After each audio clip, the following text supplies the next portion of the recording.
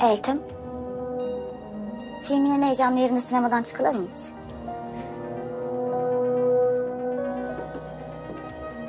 Hem esas kızın hikayesi daha yeni başlıyor. Ayşe ya. Sen ne kadar bahtsızmışsın. Hem anasız babasız büyü. Sonra zengin bir kapı bul. Oradan da kovul. Bir kurşun falan mı döktürsem? Ne istiyorsun benden artık? Defol git buradan. Defol. Bana bak. Bir daha sakın bana böyle sert yapayım deme. Karnımda bebeğim var. Ona bir şey olursa seni mahvederim. Sen beni iyi tanırsın.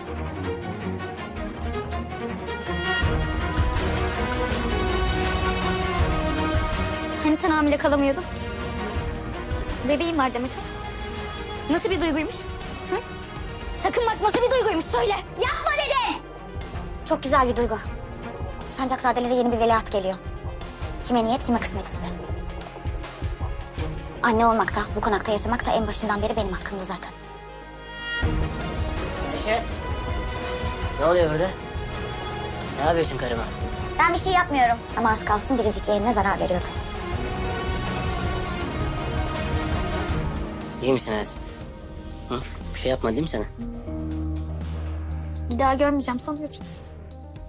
Dibimize kadar geldi. Bebek bekliyormuş. Anne olacakmış.